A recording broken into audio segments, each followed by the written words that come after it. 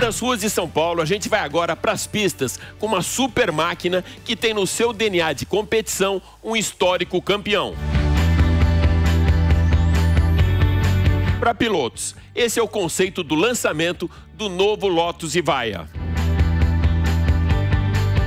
Um pacote completo de tecnologia e performance, a Lotus entrega para o ocupante do cockpit de suas máquinas uma experiência perfeita de condução a marca inglesa tem nas suas credenciais uma história de sucesso na Fórmula 1 e um forte DNA de esportividade. O Ivaia cria uma perfeita conexão do piloto com a pista logo no lançamento da primeira hipermáquina elétrica da Lotus. Com apenas 130 unidades produzidas, o Lotus Evija é o carro de produção mais potente do mundo.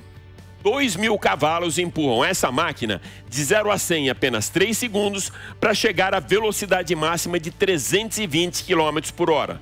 São quatro motores elétricos, um para cada roda, com bateria de 2.000 kW, que tem 80% da recarga em apenas 12 minutos, com um carregador de 350 kW e autonomia de 350 km. São cinco os modos de condução: Range City Tour para os amadores e Sport Track para os pilotos de verdade. Com prioridade na aerodinâmica, o seu design foi concebido com um conjunto de canais e túneis na sua superfície que deixam esse super esportivo mais no chão, proporcionando altíssimo downforce e baixo arraste aerodinâmico.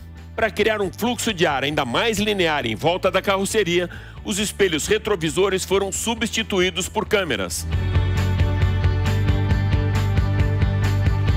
Para despertar uma conexão emocional com a pista de corrida, a assinatura de potência é muito bem traduzida pela reprodução do som do icônico motor Ford Cosworth DFV do Lotus Type 49, vencedor do Campeonato Mundial de Fórmula 1 em 1968 e 1970.